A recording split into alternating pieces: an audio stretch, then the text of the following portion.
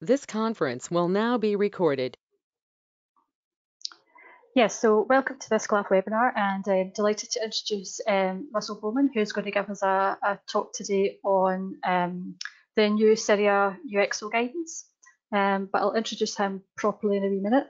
Um, our next webinar after this is going to be on the 1st of October and um, just get my information about this. So yeah, 1st of October and we're going to have a presentation from Shona Glenn of the Scottish Land Commission.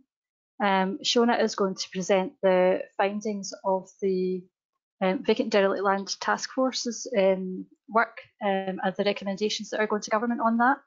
So the report's due to be published at the end of the month, hopefully. Um, and I thought that since I've already done, I think, three presentations for SCLAF on the Vacant and Derelict Land Task Force, I would maybe get Shona to do one for a, for a wee change. So um, so she'll be joining us the first. We do have a number of other um, presentations lined up. Um, I think there's another four in the diary. Um, but some of you who maybe follow on LinkedIn would have saw my sort of idea to have a sort of how-to series of webinars um, along the lines of sort of like how to investigate a gas works, how to investigate a steel works, whatever. So if you have any thoughts on the types of industries or sectors or or topics that you would um, like to be included in that series, then pop them in the chat or drop us a wee email. That would be great. Um, so, um, as you know, um, all of our speakers are invited to nominate a charity um, for um, their participation in the webinar. Russell today has has not nominated a charity, but has asked you to consider giving blood instead. So I'll be putting some information about that in the chat in a wee minute. Um, so I think that's all I've got to say. We've got quite a few people on the call now. So um, without further ado, I'll just introduce Russell. So um, Russell's worked in the site investigation and remediation sector for 15 years. 15, that wasn't 50. Um, who is the lead author on CIRIA's new guidance on unexploded ordnance for land-based projects. Um, and apparently it was an idea that was put to him by an international UXO expert whilst rushing for a train. Uh, I don't know if he's going to expand on that in his presentation, but I'm sure we're all um, keen to hear that story. Um, he's also working to promote design-focused thinking within the sector. And so without further ado, I'll just hand over to you, Russell. Thank you, Alison, and good morning, everybody. Um, just need to apologise in advance. Um, I'm just getting over a cold, so the, the talk may be interspersed with a few uh, coughing fits. Um, but um, I think that's perhaps something that we're sort of getting accustomed to nowadays.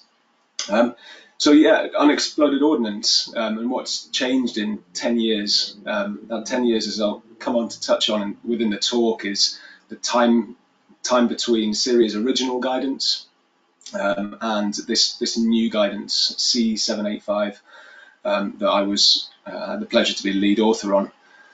So moving on, um, I thought it'd be useful um, to just have a touch base on exactly what unexploded ordnance is.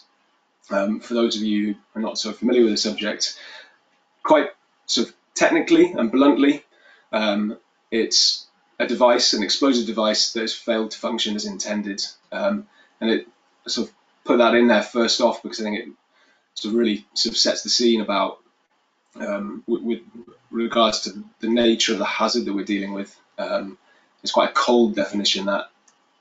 It's also referred to as unexploded bombs. Um, I mean, it, it, can be used interchangeably. There, there is a distinction. Ordnance is a broad term for all sort of munitions um, and, and, weapons within some military circles bombs are, are typically those that which are uh, sort of aerially dropped.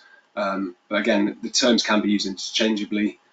International circles tend to use explosive remnants of war as a, a again a, a broader catch-all definition for the term.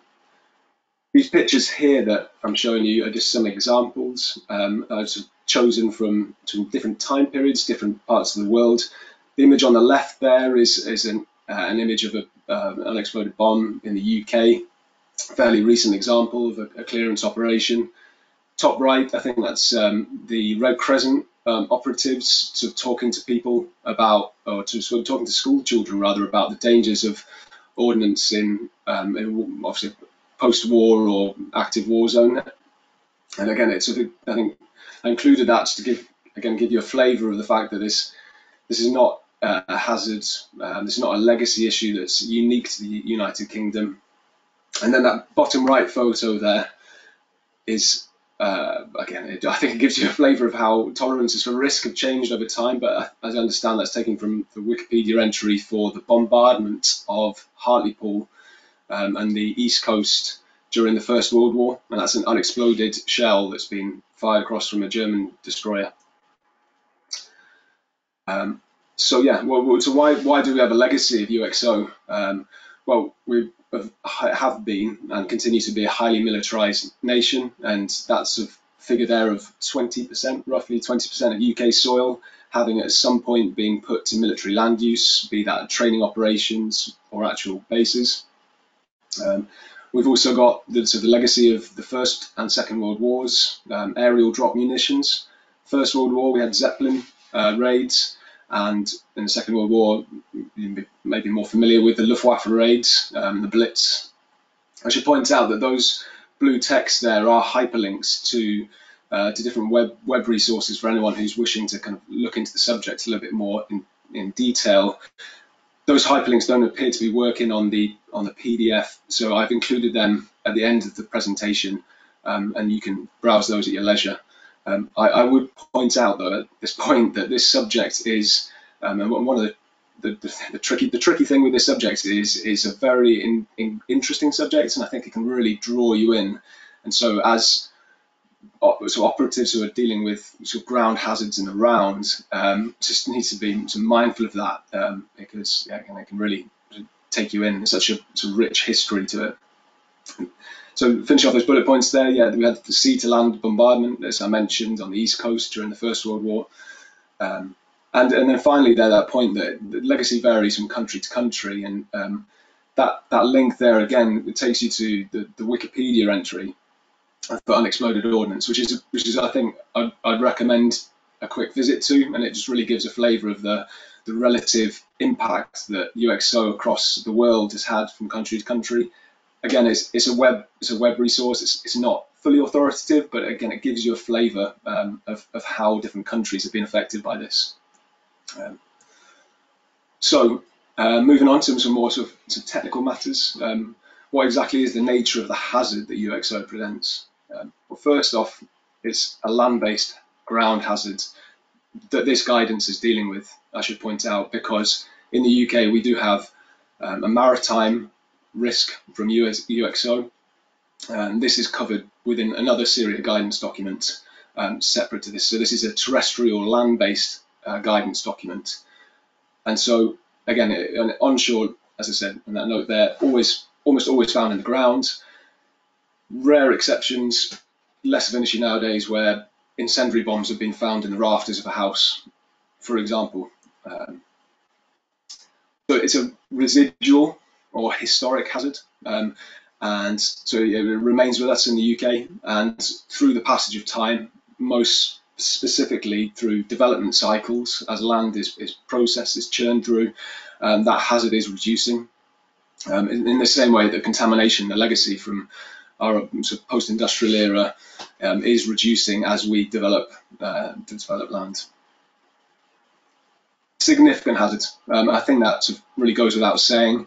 Um, that's, as we'll come on to in a second, that has a particular meaning with regards to the regulations um, and um, our sub duties as risk assessors. Um, and so, yeah, as I say, it's, it's, designed to kill and still has the potential to. The final point in this section is a background threat. Um, we, have not had any known fatalities in the UK since 1949, which is the sort of end of the clearance operations roughly after the Second World War. Um, there, there was and there is cited within the new guidance a uh, incident in Normanton, just outside of Wakefield, where um, there was a, some detonators um, resulted in the fatality of one, I think, banksman working with an, uh, an excavator, and that, um, that that site was co-opted, as you might imagine, during the war for the war effort, um, but it, it's, it's not clear as to whether or not those detonators were UXO related or quarry blasting related. It's, it's almost semantics, but I thought I'd, for completeness would mention that, and that took place in the 1980s. so what is the likelihood of encountering UXO? Obviously, this is going to feed is a key factor within our sort of risk assessment process. And the real point here is it really varies across the land areas. I've uh, included again uh, another link there to a to a, sort of an enthusiast's website who has been sort of looking to get some semblance of a coordinated record of UXO sort of clearance operations. Again, it is by no means complete and authoritative, but it gives you a flavour of the number of incidents that are occurring. Um, and again, I'll come on to this point again because it's so key. Right, so so why are we assessing the risk? Um, well, as sort of advisors, anyone in an advisory position, we've got duties and responsibilities, um, foremostly under the Management of Health and Safety at Work regulations, where UXO is listed, oh sorry, rather, UXO is not listed. Um, significant hazards need to be assessed. Um, and again, this comes back to that earlier sort of definition of the, of, of the term.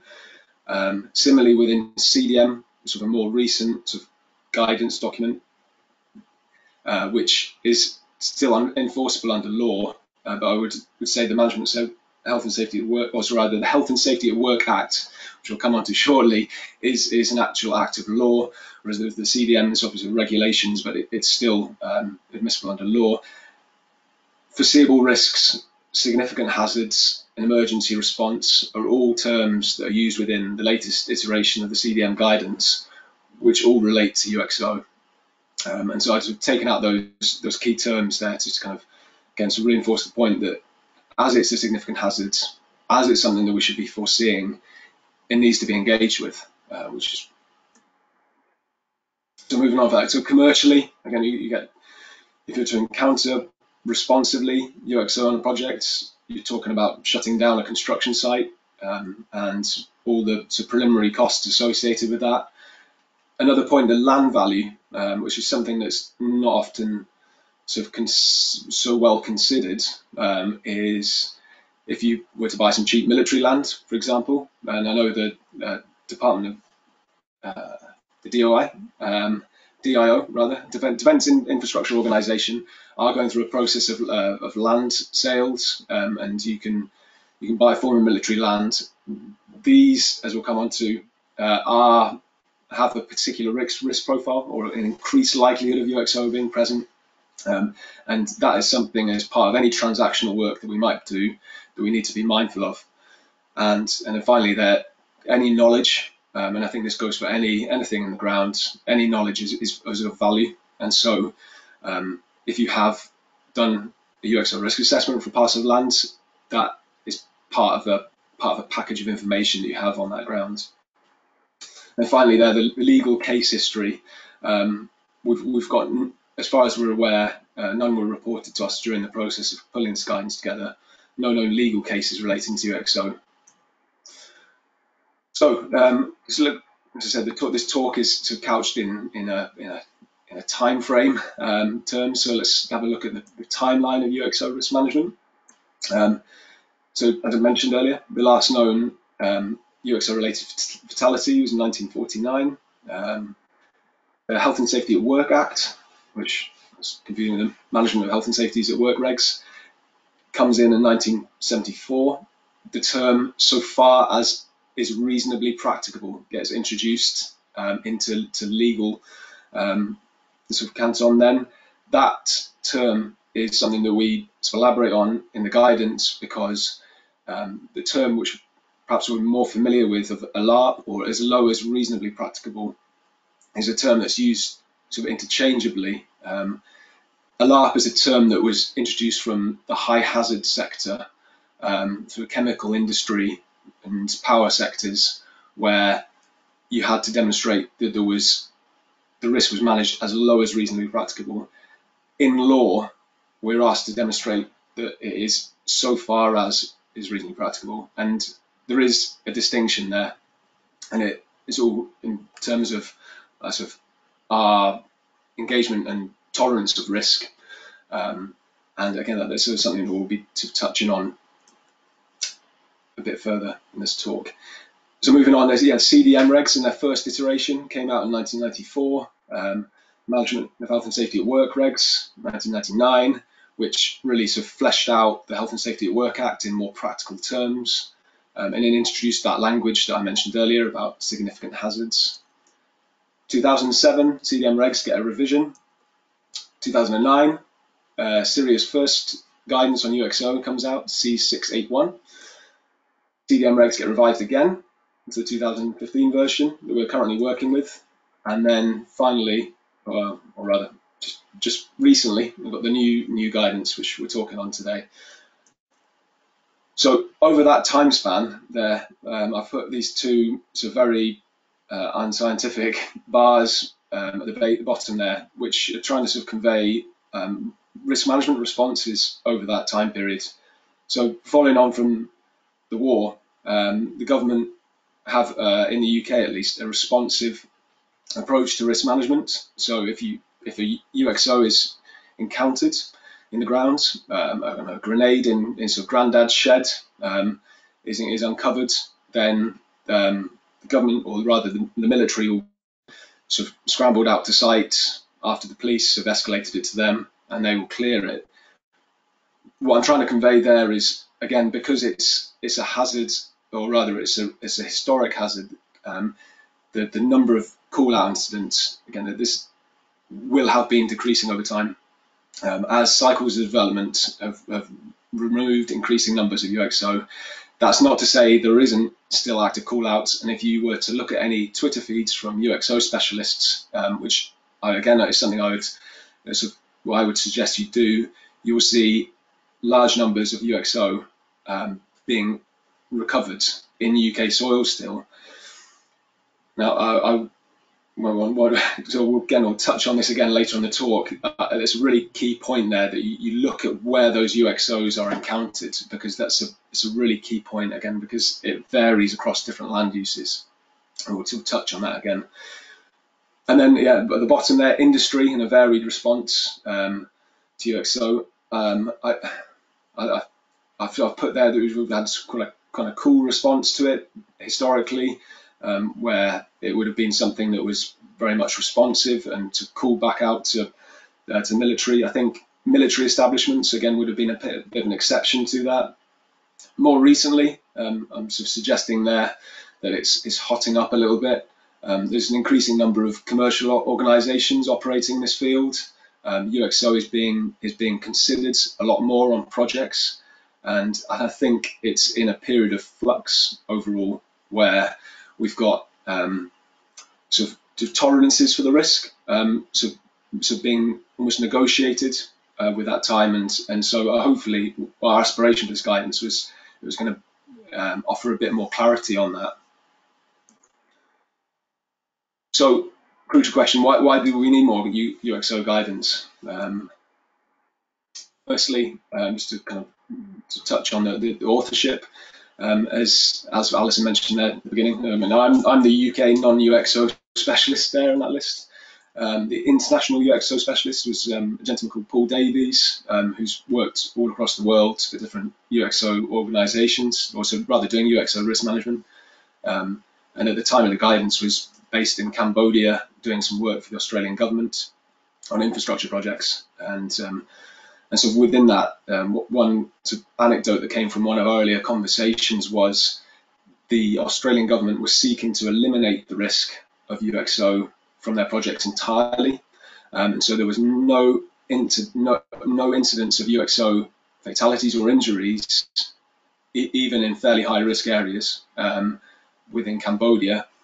Um, and yet there were almost week on week, certainly month on month, road accidents, road fatalities um, on the projects, and that was again perceived to be a, a tolerable risk, whereas the perceived risk of a UXO fatality on the project from a sort of public relations perspective was deemed to have a higher, um, or rather, the, the, the, risk was sought to be eliminated. And again, I think that's a key point to pause on, um, perhaps just again because um, the risk is influenced by various elements, technical and non-technical. And um, I think that's it was an interesting example, I thought. And then so finally, a UK UXO specialist, the first line defence, um, worked with us on this project.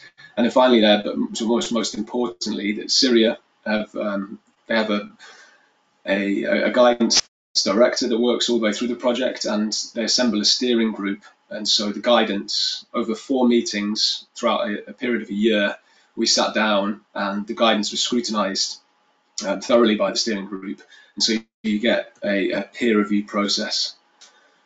Um, within the new guidance, as I mentioned on that timeline, we've we've had CDM 2015 come out, and so um, that's been included within the guidance.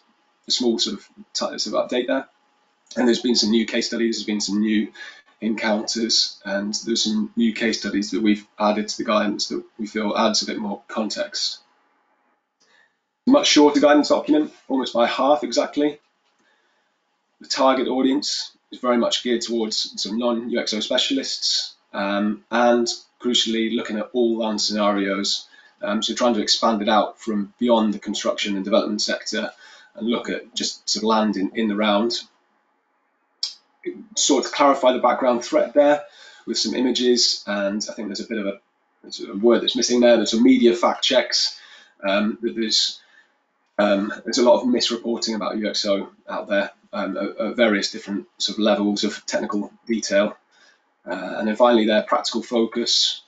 We introduce flowcharts, which we all love to hate, and lots of worked examples and a generic response plan should you encounter suspected UXO. There's also lots of pictures and take the moment to kind of hold up a, a version of the guidance. It's, it's, in an A5 format, and hopefully you can, can see that there on my screen.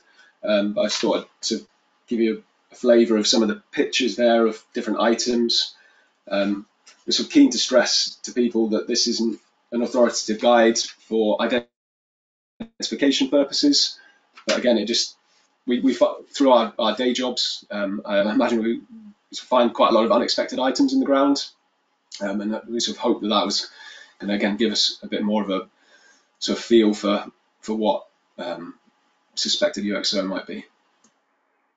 And for a final few bullet points here, the HSE worked with us very closely on this guidance, um, and that was is really valuable sort of input on the project. Um, they aren't able to endorse it, but they worked closely with us on it.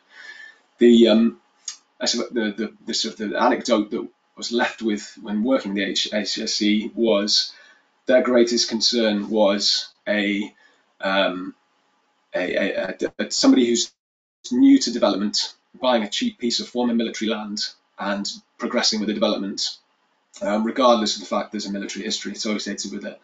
And I've actually seen that a couple of times in my day job, um, and or rather, sort of acute, seen it acutely, or projects that I've not had a chance to be involved with. Um, and then that's that's where they're most concerned. And in fact, during the process of writing the guidance, there was a case where they were called out to a site of that very, very, very type. Humberside Police, we sort of spoke to a lot of police authorities who were sort of keen to just kind of get a bit of their sort of input on on, on their experience of it. Um, and they were really keen to kind of be involved and sort of feed into the guidance. Um, and they liked to see that there was kind of an emergency response plan within the guidance document so people could at least have some clarity about what to do when the unexpected happens. And then finally, there's lots of other international specialists who fed into the guidance. And um, again, as Alison mentioned at the beginning, with that that first chat I had with an international specialist running to the train, um, I, one of the things I was drawn to with this project was working with somebody who wasn't operating in the UK, who could offer a slightly more objective sort of worldview on UXO risk management. Next point there, you see those three bullet points highlighted the target audience, background threat, and practical focus. I'll sort of go into those in a little bit more detail over the next few slides. So looking at target audience, um, again, this this image is straight out the guidance. Um, we're really sort of trying to again, draw people's attention to the fact that risk management is not something that is complete is is uh, exclusive to the construction cycle, uh, which you can see there top right, where the RIBA work stages will kick in. Um, I should point out all the italicized writing there are points at which risk management is fed into a, a given project or a given parcel of land. Um, so yeah, even once we've gone through construction, you've got HSE, uh, health and safety files being passed at all the different stages of a project, management, demolition, and vacancy. Um, particularly when you get to vacancy, you'd be doing due diligence um, and transactional work. Again, UXO risk management or risk management in the round can feed into there. How much is this land worth, um, and what what unforeseens have I got um, that might change its value? Clarifying background threat. Um, again, this is one of the sort of key points. to again, hopefully, sort of allow a bit more proportionality um, across the board. Um, because I, I, in fact, sort of reminds me that th through the process of publishing this guidance, one of the first things that we were keen to do as an author team was um, get a survey out to the to as wide an audience as possible about how our response was to the UXO, and so really broadly, the response to that survey was we've got a very polarized response. Either some people are engaging with it and almost getting to the point of eliminating it, like the Australian government example, or conversely, people are ignoring it and not engaging with it at all, and sort of was claiming ignorance that it doesn't exist as a hazard. And so, yeah, we, so that, that survey was we thought to key to sort of setting the context for the, the, this new guidance. So yeah, so back on track. The nature of the guide, nature of the hazard, easy to understand. It's an, explos an explosion that occurs with some really uh, significant consequences. It's a very emotive subject that sort of calls to mind all kinds of different sort of historical and um, historical threads and sort of technical technical threads about sort of contamination profile and other things. Um, it's really engaging and interesting. Each each each bomb, each bit of ordnance has got a story behind it.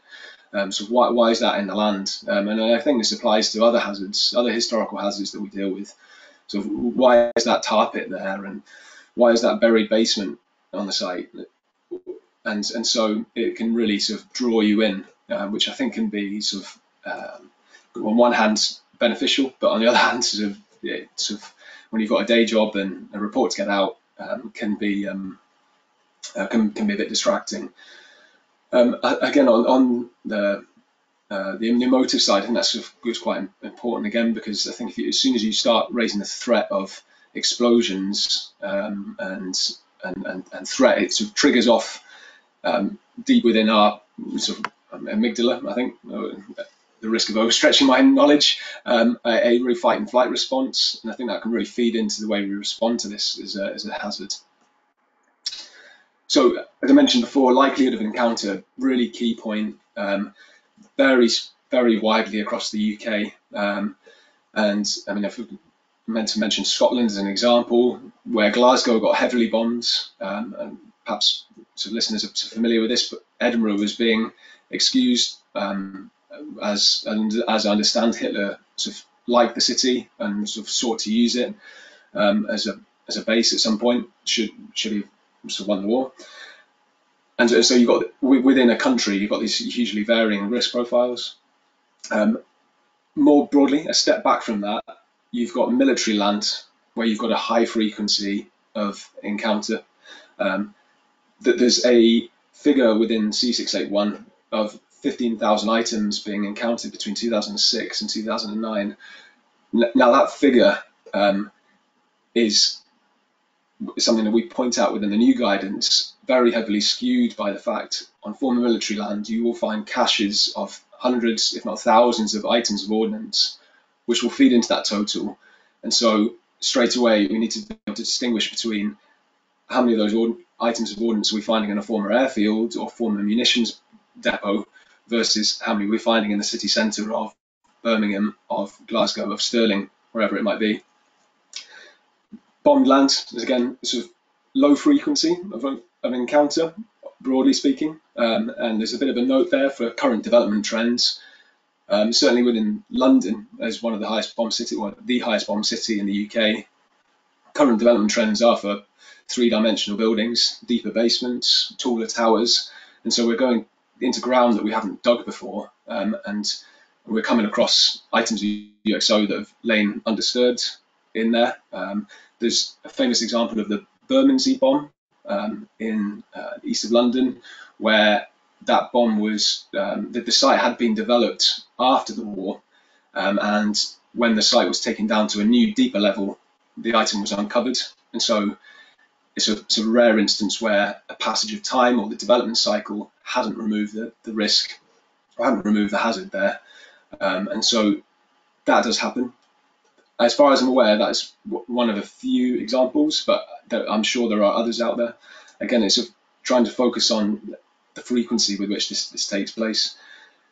Um, and yeah, so current development. Estuarine land, I mean, we were dealing with the ground, so it's never going to let us get away with being simplistic in its um, in its. Uh, it's never it's never going to give it up easily, um, and so estuarine land is it's going to sit somewhere between the two. Um, I mean, certainly after the Blitz in London, a huge amount of rubble, and I think the same applies to Liverpool as well, was cleared out to the coastal regions and some of that blitz rubble was contaminated with UXO, and so when that material either gets brought back on or development takes place on that estuarine land, um, then already straight away you've got uh, a sort of hazard there. I would say managing or assessing that risk is very problematic unless you do know which areas were the areas that where um, blitz rubble was deposited. Um, and finally, there the, the zero fatality record it doesn't remove the need for risk assessment, and that's really I think if the main take home from today's talk and and the new guidance is we need we need people to engage with this as a, as a risk, um, and we need, we need people to do that in a proportionate way, um, and we need to bring more non-specialists into the subject area. We really hope to do that with the guidance. The final point there, there's a 10 to 15% um, is a figure that's used for the number of aerial dropped munitions during the Second World War that failed to function as intended.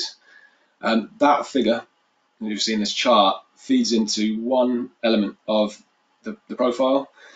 So this schematic, again, straight from the guidance, is showing you from left to right how you've got the total number of bombs dropped, which, as is, that little note there says, is, is close to what the bomb mapping will illustrate. Um, it's, it's, not exactly, but it's close to.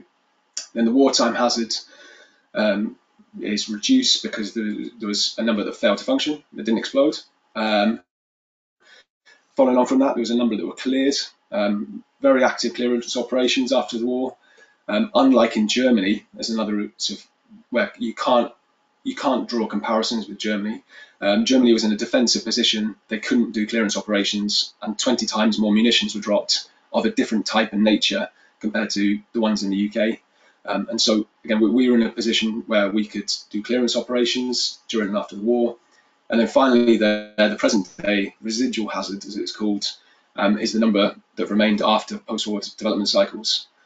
And this is all obviously relative numbers here, but um, particularly when you get presented with a, a bomb map, um, and there's some very good resources out there. One that University of Plymouth pulled together, um, I think Bombsight uh, that looks at London, and there's one for Liverpool as well that I know of.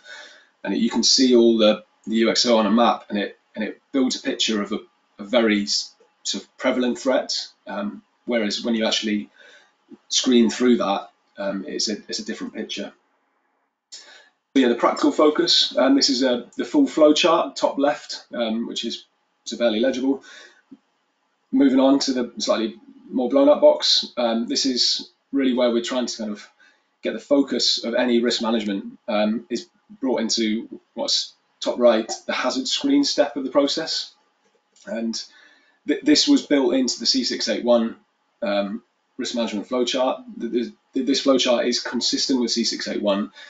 What we've, we've done is really tried to distinguish between screening for a hazard and assessing it. And so this is something that we're used to doing, for example, for mining risk. Is there a mine shaft on my site? Is there not? Is there shallow workings? Is there not? If there's not, and you're outside of the coalfield region, for example, then that is not something, it's not a hazard that you need to be considering. We're trying to get the, the same applied to the UXO again. So if you're on a former military land, the top bubble there, you, you, you go through, you, it escalates very quickly because the frequency of encountering UXO is much greater there. You'd be most likely involving specialists in, in your work if there's indicators of bombing, again, similarly, if you've if you've if you've got none, if you're in a um, in, a, in a city with, with no history of bombing, um, then and or rather your the site within a within a city even where it was bombed, there's, there's no clear indicators of bombing having taken place on that site. Um, then straight away your risk profile is reduced and you can come out of the process. Um, where you have got indicators of bombing on or adjacent to your site, you, are going to be assessing the risk, and so that takes you on that bottom photo image there down into the risk assessment process um, because there's a potential for that hazard to be there. And hopefully you'll see through that so emphasis on that early stage that a lot of a lot of sites do drop out um, or drop in to the process. Um, and I think again with as with any risk assessment, those early stages are key. Um, and uh, so yeah, continuing with the practical focus. Um, in C681, there was one page of worked examples for preliminary risk assessment. I think two, if not three of them, resulted in a detailed risk assessment being needed. Um, one of them didn't on a greenfield site in the middle of um, Lincolnshire or somewhere. Um, C685 has got five detailed examples with different plan works. So are you just going in to do some hand pits to look at the foundations of a building or to take some shallow soil samples versus doing wholesale excavation of a site for a new basement? That this fundamentally plays into this risk profile on the likelihood of an encounter rather, which is which is key. Um, and and so again, we, we, we sort of run through those. This is one of the case studies from the guidance, a site in Huddersfield, a city that was bombed. It doesn't quite make it into it makes into the bomb census data, but it, it's it's not often cited as a city that was bombed significantly. Um, so in our minds already, we are we're building a picture of of, of a, city that's got a legacy, um, but one which is because it's formerly bombland and, and it wasn't that heavily bombed. So it's, it's coming down in our um, in, in our minds. And when we look at two particular sites, this is I should add this is pre and post war mapping, um, historical mapping. If we're looking at a site top top left there, we're seeing that the building arrangements are staying unchanged, um, both on the site and immediately adjacent to it and there's, there's no, no significant changes to the, the building arrangements. Conversely, if you look at the site over to the, to the right hand side there, um, where you've got a ruin immediately adjacent to the site, which is barely legible, there's, t- there's two ruins next to, the, to, the, to that square and an area of land clearance. Straight away, there's indicators that UXO has landed on or nearby that site. And so, through the guidance, the first site there um, we'd suggest um, that that isn't escalated to a risk assessment stage, whereas this site would be. Um, and so already, again, there's like an extra level of granularity to the process. And again, it's just a comparison of the two. Uh, yeah, again, a, a point that um, can't be laboured enough, um, and you've probably heard countless times, but they are live documents. Um, I know once you've submitted the report and so clients come back and said they're happy with it, and kind of thing, that, that that's done and dusted. But if and where any other additional information, and particularly with UXO, um, I've personally found working with excavator drivers who've known the local area and have said, "Oh yeah, my grandfather knew about this, or my grandmother sort of lived through the Blitz, whatever." They can feed in um, often sort of local knowledge that can have real relevance to to the risk assessment process. And finally, um, future work ideas. 10 years from the future, uh, 2029, we're going to get some new guidance. That's CIRIA's um, work cycle, that they review their guidance on a 10 yearly basis, um, which is just kind of part and parcel of the reason why we got this new guidance, but, but also because there was a polarized response to the risk. Um, the top one there, aging studies, that's um, again a hyperlink to um, some studies done by um, the Geneva International Convention of um, demining. Um, demining is also a term that's used in international terms for all UXO, and and and that's um, yeah, so it's, it's, it's, really interesting work. Um, I mean, UXO fuses and gaines and boosters, all the things that feed into set that explosive off, do degrade with time. Um, that said, the UXO will contain explosive material that can extrude from itself. I'm going into a, level of detail that's not, that's not needed on a non-specialist basis, but um, the, the, overall trend from some of that research is that the risk profile is from the autumn items themselves is diminishing with time. But it, again, it comes back to that key point that we, you can't, as a non-specialist, take take that view, and so you have to treat any suspected item with this with the same level of respect and caution as you would something that's live. Um, and the second point there, destination modeling, with that little graphic on the right hand side that I just grabbed from offline. I think it's some nuclear bomb testings. Um, but um, again, I mean, whether or not this would actually uh, benefit the sector or, or, or, not, I don't know. This is ideas I'm putting out there. But after a certain point, an explosive charge will, will not um, escape at the surface if it went off in a fully sealed environment. Um, and so, um, quite quite how, how how far that feeds into the construction cycle in a beneficial way, I don't know. Um, and then the, the, more information point there, um, it, the guidance is shortlisted for a very competitive um, awards in the Brownfield Festival at the minute, and the link there uh, it takes you to uh, to the submission if you want to read a bit more in the background of the, of the guidance. And I think that's that's about it. Um, and so if, I really welcome any questions anyone's got. That's great. Thanks very much, Russell. Um, and just before I stop recording, I'll say um, for those that don't know, um, are also nominated in the um, as a shortlister for the Brownfields um, Awards this year. So, yeah, if you follow that link, you should be able to find SCLAF on there as well for the work that they did with the Grow 73 Community Project um, last year. Um, so thanks very much, Russell. Um, that was great. We're going to do some Q&A now, but I'm just going to stop the recording first.